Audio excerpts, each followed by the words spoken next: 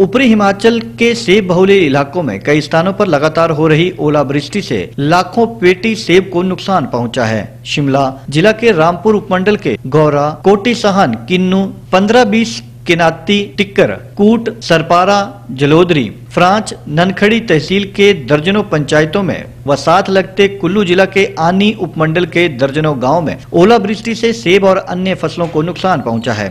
रामपुर के साथ लगते गौरा पंचायत के लोगों ने बताया कि 70 साल में ऐसा पहली बार हुआ है कि इतनी भयानक ओलावृष्टि हुई है। इससे सेब की फ़सल तो बर्बाद हुई है। ओलावृष्टि होने के कारण सेब के बीम को भी चोट लगी है और टहनिया भी टूटने से आने वाले दो वर्षों में सेब लगना मुश्किल है। लोगों ने बताया कि सेब के अलावा अन्य फ़सलों पर भी ओलावृष्टि का असर पड़ा है। ऐसे में कोरोना के दौर में उन्हें और मुश्किल हो रही है। सेब ही उनकी एकमात्र रोजी का साधन था। सरकार बागवानों को मुआवजा प्रदान करे ऐसे उन्होंने मांग की है। गौरा के पंचायत प्रधान अजय राणा ने बताया कि पिछले कुछ दिनों से लगातार ओलावृष्टि हो रही है। इससे उनके इलाके में सेब और अन्य फ़सलों को काफ़ी क्षति पहुँची है। उनकी पंचायत में दो लाख पेटी सेब का नुकसान हुआ है। उन्होंने कहा कि क्षेत्र में ऐसी ओलावृष्टि पहले कभी नहीं देखी गई थी। सेब के अलावा पौधे के बीमे पर भी असर पड़ा है। सरकार इस कोरोना काल को देखते हुए किसानों को मुआवजा ज़रूर प्रदान करें। नमस्कार, मैं प्रधान ग्राम पंचायत धारगौरा। मैं आपको बता दूँ कि पिछले कई समय से लगभग बहुत से क्षेत्रों में ओला दिन प्रतिदिन ज़्यादा से ज़्यादा आ रहा है। तो मैं बता दूँ जो हमारा ये क्षेत्र है, धारगौरा पंचायत और धार गौरा का जो क्षेत्र है, ये लगभग सभी सेब सेब सेब का क्षेत्र है। यहाँ पर पूरे एरिया में लगभग मिलाकर दो, एक से दो दो एक लाख यहाँ पर पेटियाँ होती है। तो मैं आपको बता दूँ कि यहाँ पर बहुत ज़्यादा नुकसान लगभग अभी यहाँ पर जो भी सेब पेड़ों में है, वो पूरी तरह से ख़त्म हो चुका है। वो कहीं भी ना तो वो आने वाले समय में बाज़ार में उसकी कीमत रहेगी। और मैं बता दूँ, सेब के साथ, सेब तो ख़त्म हुआ ही हुआ है। उसके साथ जो सेब में बीमे होते हैं, वो भी पूरी तरह से ख़त्म कर दिए, जिससे आने वाले दो से तीन साल तक भी किसानों के सेब नहीं लगेंगे। मैं आपको बता दूँ कि एक तरफ़ तो जहाँ कोरोना महामारी पूरे हिंदुस्तान में है, जो हमारे किसान भाई है, उनके लिए थोड़ा आसरा हमारे सेब का था।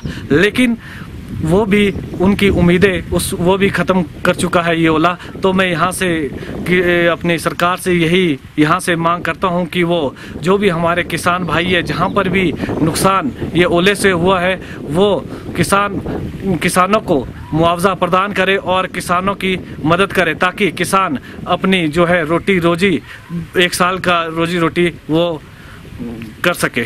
धन्यवाद। गौरा की सत्तर वर्षीय कला देवी ने बताया कि सेब सब्ज़ियाँ मटर व अन्य फ़सलें तबाह हो चुकी हैं। उन्होंने अपने जीवन में पहली बार इतनी नुकसानदायक ओलावृष्टि देखी है। उन्होंने बताया कि उनके घर में कमाने वाला कोई नहीं है और सेब ही आसरा थे। बहू और वो दोनों विधवा हैं। मेरा नाम है कला देवी हाँ जी हाँ तो इस साल ऐसी शुरू आया ही भगवान बुरा हाल कर दिया सेब टाणी सारी फ़सल सब खत्म हो गए। कहाँ जाए हम? क्या खाएँ हम?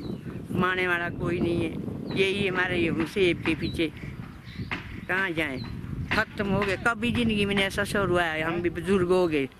सत्रह साल में लगे हुए में तो ऐसी नहीं देखा हमने अपने आँखों से। इस साल देखा कि खत्म हो गया। पाई हो गई। मेरा नाम कमलानंद जी। हाँ जी हाँ मैं इसके बारे में बोलना चाहता कि दो तीन दिन में ओला वृष्टि इतनी हुई है क्योंकि सेब सूब तबाह और फ़सल सारी जो भी बीजे सब्ज़ी मटर ये जौ गेहूँ की फ़सल भी तबाह हो गई है। अब हम सरकार से मांग चाहते हैं कि इसका कुछ मुआवजा दे दे तभी भरपूर होगा नहीं तो हम तो इसी पर निर्भर है। मेरा नाम मनोज हाँ जी। गाँव गौरा ग्राम पंचायत धार गौरा। तो जो पिछले तीन चार दिनों से ओलावृष्टि हो रही है जिस कारण से जो हमारी फ़सल थी, पूरा क्रॉप था टोटल लॉस हो गया है। तो जो हमारा मेनली जो रोज़ी रोटी होती है, पूरा खर्चा चलता है साल का, वो सेब की फ़सल ही होता है। तो पिछले तीन चार दिनों से जो लगातार ये ओलावृष्टि हो रही है, उसकी वजह से हमारी पूरी फ़सल टोटल लॉस हो चुकी है। तो जिससे हम काफ़ी परेशान हैं।